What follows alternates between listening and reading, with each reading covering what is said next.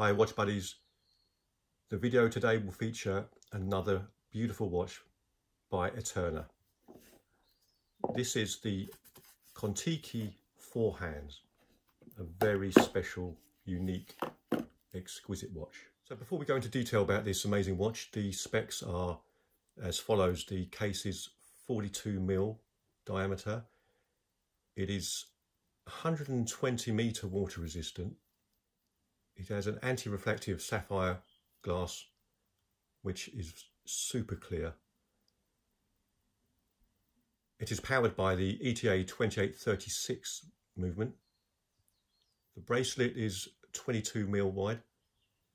The case height is just 11 and a half mil and lug to lug is 46 mil. Now, a quick mention on the, the name Kontiki. Eterna do quite a few watches with this unique name, Kontiki, that comes from the expedition by explorer and author Thor Heyerdahl.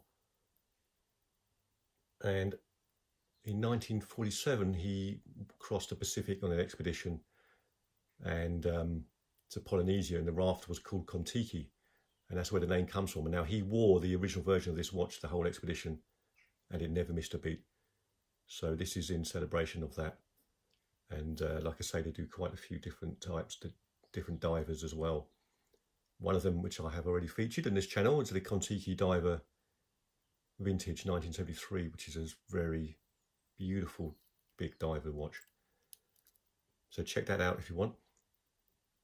Now this watch is not a diver, it's a more of a sort of sports watch but it is so beautiful. It really is an ex exceptional build quality. It's um, a very luxurious watch. And obviously the most unique part of this is that middle dial there with the date. This date wheel is quite unique and um, a clever way of showing the date, which I have seen similar dates like this, um, arrangements like this on Oris watches, for example, the pointer watch. Now this one, I think the hand is concealed by the minute hand, so let's just move that out of the way.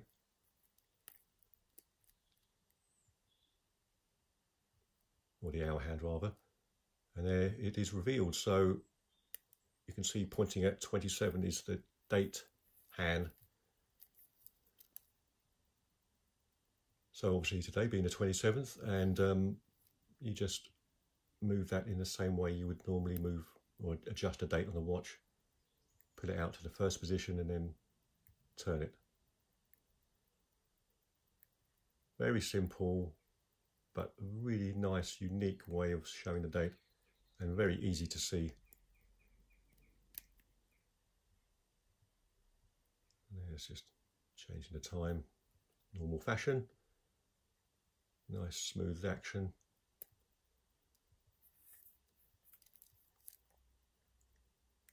And you can see the Polynesian ins inspired textured pattern right in the middle of that dial. And you've got the Eterna logo and Kontiki Eternamatic sort of on a raised plaque. And then you've got the famous five ball bearings there above the Eterna word. Now the indices are really beautiful. They're um, obviously you've got the silver chrome finish look on the batons there. And each hour marker has a triangular baton with the lume pip in the middle, apart from obviously 12, 3, 6 and 9, which have these huge lume filled triangles, which really are bright at night. But they stay green throughout and they look very distinctive. And that harks back to the original vintage version of this watch.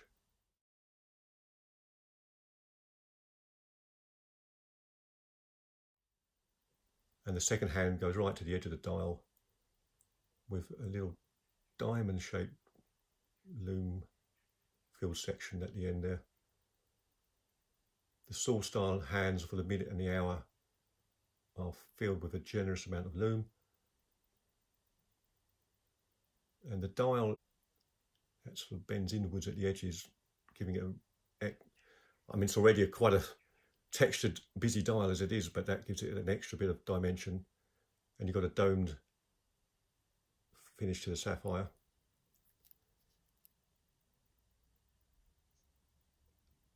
And I love the uh, the big green markers with the chrome edging and the silver finish of the numbers sitting proudly on top of those markers in a raised finish. So it is one of the most interesting, intricate textured dials I've seen.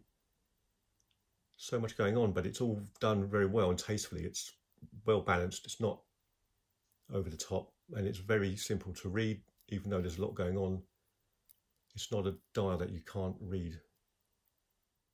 The case is very well finished. You've got brushed finish on the top of the lugs and then super highly polished side to the case.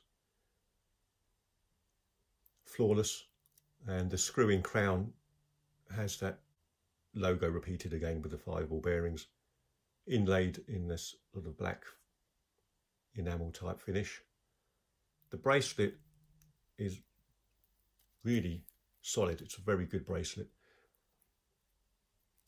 It has a really nice clasp.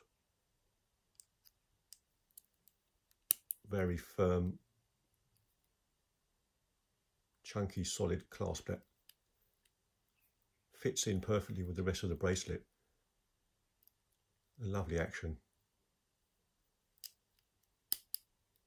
With a nice deep engraving of the Eterna logo on the brushed finish of the, of the clasp.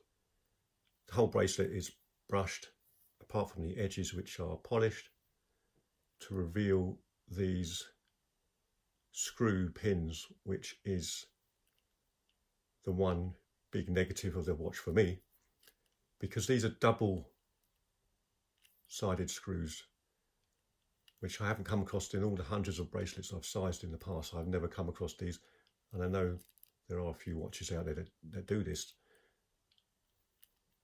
And uh, I was a little bit concerned about how easy that would be, and it was not easy. You need, you need two screwdrivers, one to hold it in place, and the other to screw the other side. And with a bit of patience, you can do it, but it does take time, and it is very fiddly. One of the screw ends is a tiny little screw that fits into a much longer bolt that goes most of the length of the or the width of the link that little screw fits inside the other screw to hold it in place but once it's done you forget about it and it's uh, a very good bracelet very solid. And the links are very smooth and hang down nicely. And, and there's no rattle of course. Just very well engineered. Now let's move on to the beautiful case back which displays that Kontiki raft in a very detailed embossed engraving. Really high quality.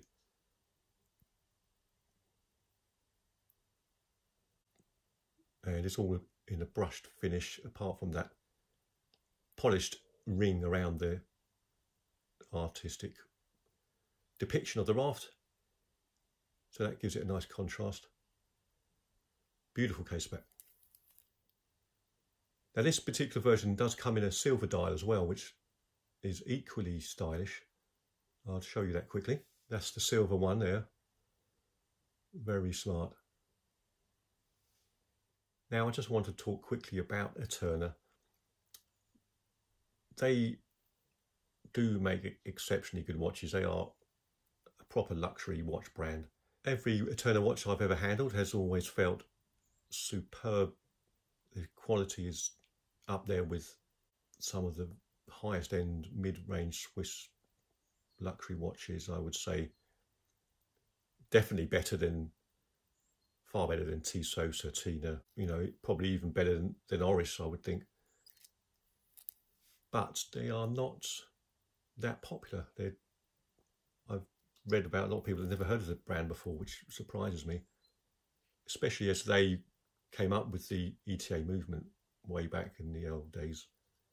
So it's always been a bit of a mystery to me as why uh, Eterna is not that popular or well known when they make such high end watches and such have such a rich history. It must come down to the marketing, but they are one of the best, in my opinion. And they do make some really attractive watches. They do, um, apart from the vintage Kontiki diver, they do another diver watch, which is a more modern version, which is absolutely stunning. And uh, again, the build quality is incredible.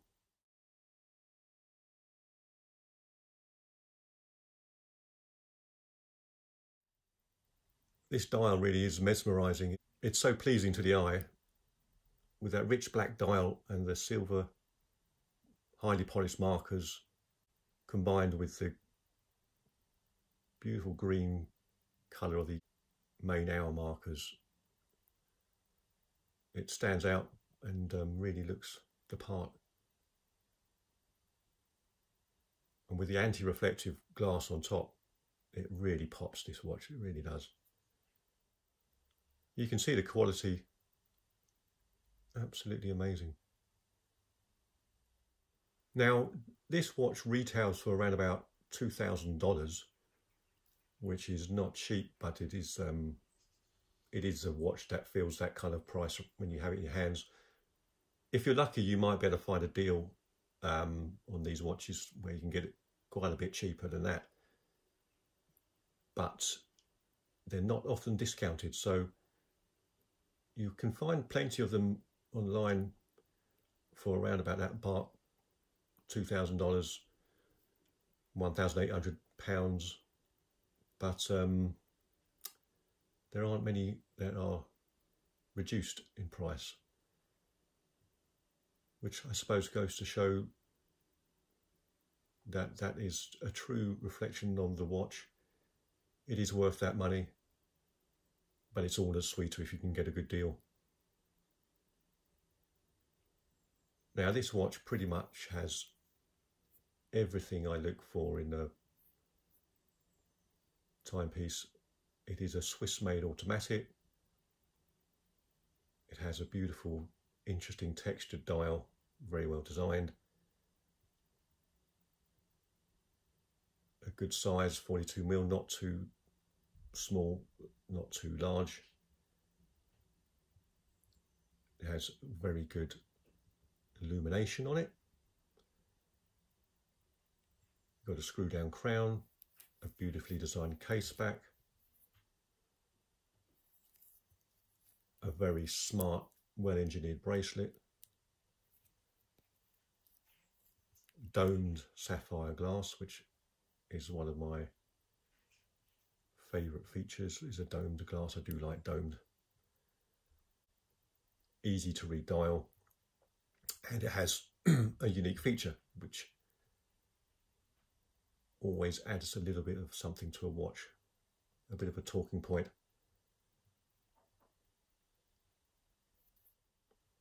So let's get it on the wrist and show you how that looks. And as you'd expect, that sits perfectly on the wrist. Curved lugs, slim case, excellent bracelet, just a very stylish, classy looking watch. So now let's check out that uh, amazing lume.